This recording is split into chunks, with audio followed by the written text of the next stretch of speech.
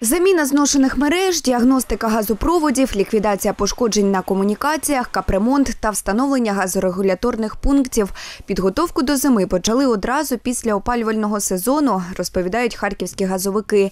Та акцентують, як працюватимуть мережі взимку, залежить і від споживачів газу. Некоторые люди ошибочно считают, что плата за доставку газа – это плата за трубу. На самом деле это средства, которые инвестируются в работоспособность газовой системы, чтобы газ газопроводами мог попасть в дома к нашим клиентам. Это оплата труда рабочим, которые ремонтируют систему, без персонала обслуживания и вложения в газовые трубы. Э, Сама труба – это просто металл, закопанный в земле. Речниця додає, від початку року продіагностували та підготували до зими понад 6 тисяч кілометрів газопроводів. І, каже, виявили та ліквідували майже тисячу пошкоджень на трубах. Ремонтували і розподільні газопроводи. Окрім підземних та наземних, обстежують і підводні мережі.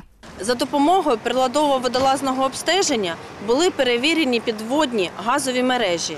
Ці роботи проводяться для визначення технічного стану газопроводів та прийняття рішень е, щодо можливості подальшої експлуатації або проведення робіт поточного чи капітального ремонту.